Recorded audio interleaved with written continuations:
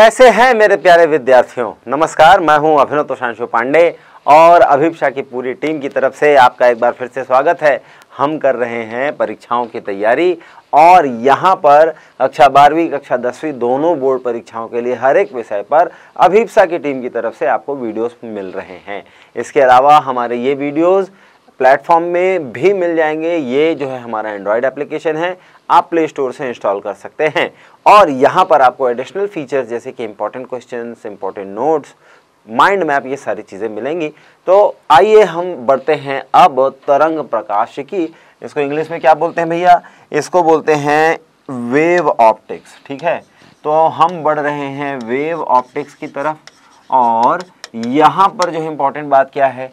भाई, ये भी जो है ऑप्टिक्स का ही हिस्सा है मतलब चौदह नंबर के पोर्शन में ये भी कवर होता है। अब छत्तीसगढ़ बोर्ड की परीक्षाओं के हिसाब से सोचा जाए थोड़ा तो आपको समझ में आएगा कि पाँच नंबर का एक प्रश्न जो है इस चैप्टर से बनता है और उसके लिए जो है हमारे पास में कौन कौन से ऑप्शंस अवेलेबल हैं।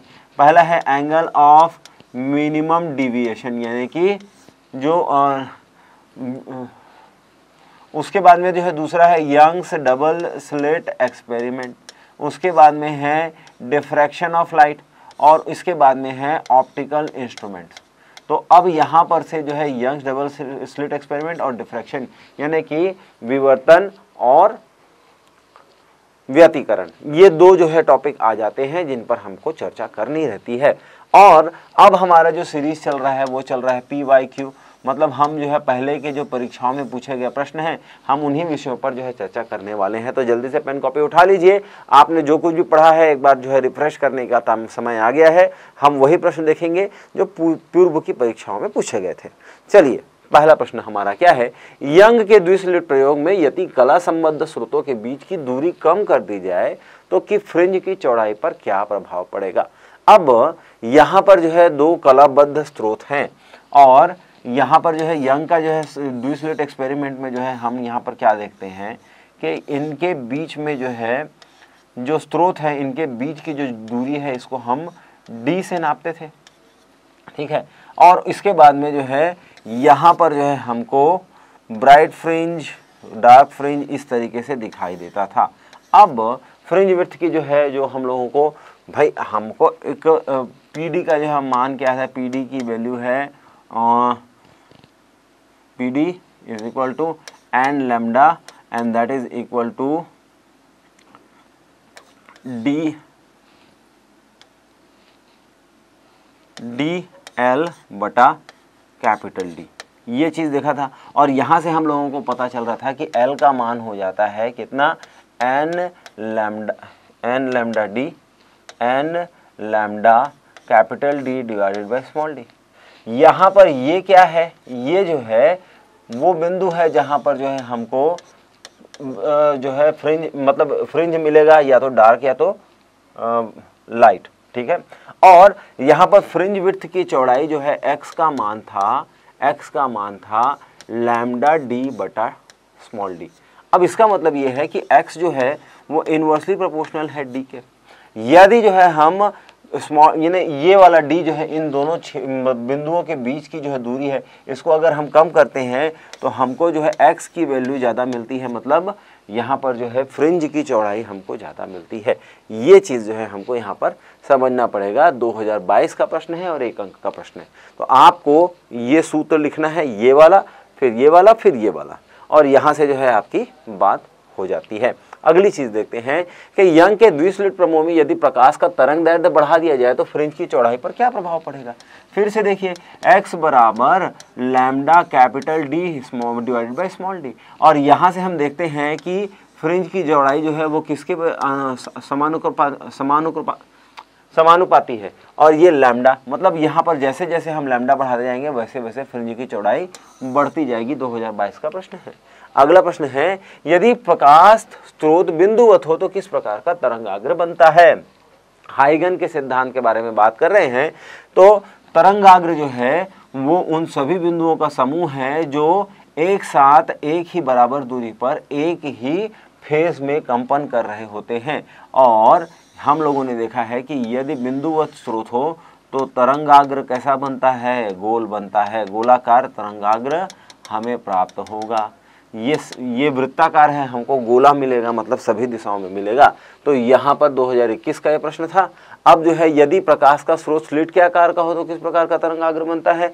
तो हमारी जो स्लिट है और वो जो है स्लिट मतलब वो जो यंग में जो है उन्होंने जो है दो पट्टियों के बीच में जो छेद किया था वो स्लिट है। और यदि प्रकाश तो, तो उसी आकार का हो तो हमको जो है यहाँ पर समतल जो है एक तरंगाग्र मिलता है। या यहाँ पर जो है इस तरीके से देखेंगे तो समतल तरंगाग्र मिलेगा। आगे बढ़ते हैं, यदि प्रकाश स्रोत और स्लिट के बीच की दूरी असीमित है तो किस प्रकार का तरंगाग्र बनता है? चाहे चाहे वह प्रकाश स्रोत बिंदुवत हो या रैखे तो यहाँ पर जो है हम जो है देखते हैं कि अगर प्रकाश स्रोत जो है वो अनंत दूरी पर है तो सारी की सारी रेखाएँ जो हैं वो एक दूसरे के लंबवत आती हैं। या हम बोल सकते हैं कि जो तरंगाग्र बनेगा, वह समतल तरंगाग्र बनेगा, जो कि किरणों के जो है लंबवत होगा।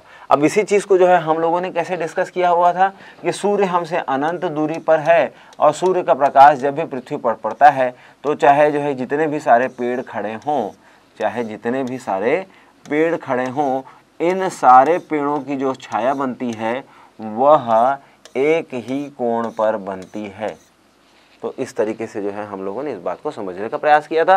2021 का यह प्रश्न है, हम लोगों ने चीज़ों को डिस्कस कर लिया। आगे बढ़ते हैं, रेडियो तरंगों और ध्वनि तरंगों में से किसे ध्रुवित किया जा सकता है?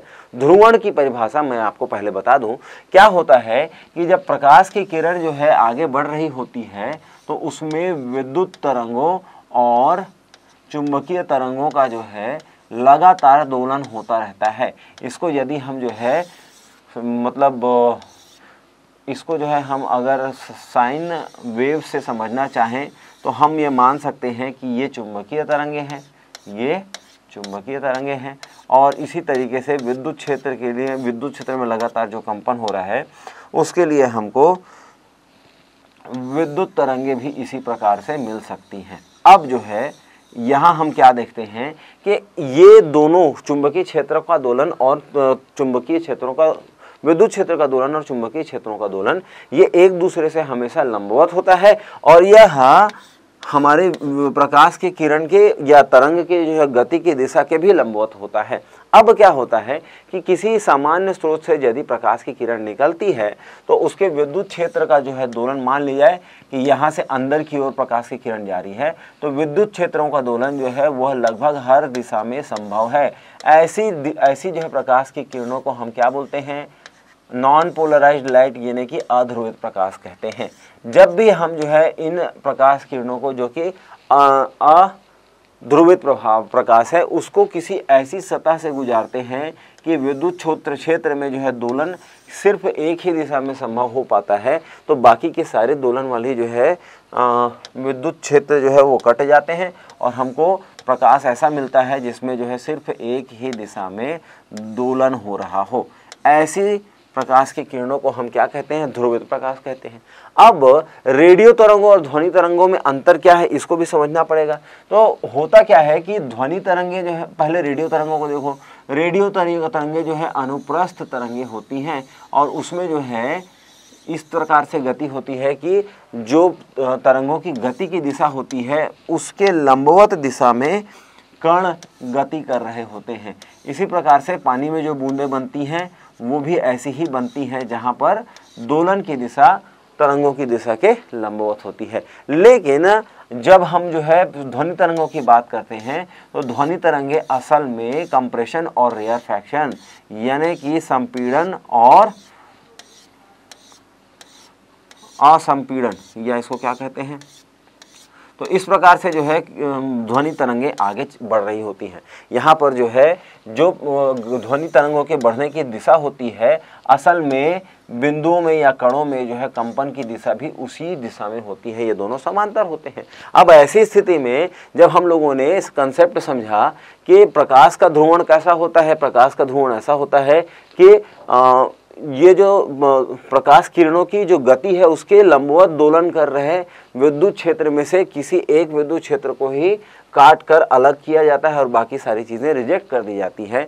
ये चीज़ें जो है तभी संभव हैं जब दोलन की दिशा जो है वह तरंगों की दिशा के लंबवत हो। लेकिन प्रकाश ध्वनि तरंगों में क्या होता है कि ये दोनों की जो, जो दोलन की दिशा है वो एक ही जैसी है और इस कारण जो है इस प्रकार की अनुदैर्घ्य तरंगों को हम कभी भी ध्रुवित नहीं कर सकते। तो रेडियो तरंगे कैसी तरंगे हैं? रेडियो तरंगे जो है, वो ईएम यानी विद्युत चुंबकीय तरंगे हैं और ये अनुप्रस्थ प्रकार की होती हैं, जबकि ध्वनि तरंगे कैसी हैं? अनुदैर्घ्य प्रकार की होती हैं और ध्वनि तरंगों का जो है, किसी भी प्रकार से ध्रुवण नहीं किया जा सकता है।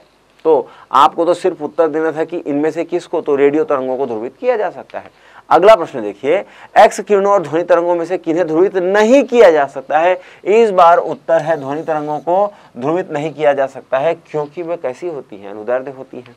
ठीक है? उष्मीय तरंगों और ध्वनि तरंगों में से यहाँ पर तरंगों आना चाहिए। तो उष्मीय तरंगों और ध्वनि तरंगों में से किसे ध्रुवित किया जा सकता है?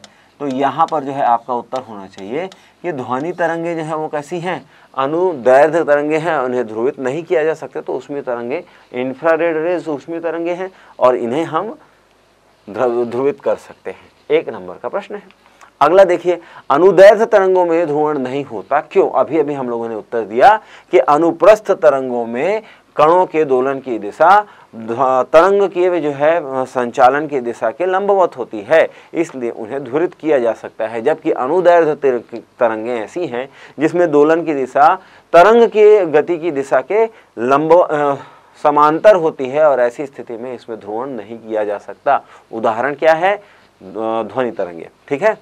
तो किस प्रकाश की तरंगों में ध्रुवण की घटना नहीं होती है? किस प्रकाश की तरंगों में ध्रुवण की घटना नहीं होती है? प्रकाश जो है वह स्वयं जो है किसका जो है हिस्सा है? प्रकाश जो है स्वयं विद्युत चुंबकीय तरंगों का हिस्सा है और इसमें से हर एक जो तरंगे हैं, वह किस प्रवृत्ति की है? अनुप्रस्थ तरंगों की प्रवृत्ति की है। तो हर एक प्रकाश में ध्रुवण की घटना होती है। 2014 में पूछा गया यह प्रश्न है। आगे बढ़ेंगे।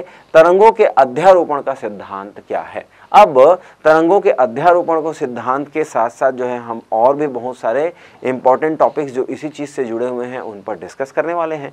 तो हम मिलेंगे अगले वीडियो में और ज़्यादा डिटेल से समझेंगे कि ये अध्यारोपण क्या है इसकी शर्तें क्या हैं इसमें जो है आ, इंटेंसिटी यानी कि जो है प्रकाश की तीव्रता पर क्या असर पड़ता है और ये सारी चीज़ें। तो मिलेंगे हम अगले वीडियो में और तब तक के लिए धन्यवाद।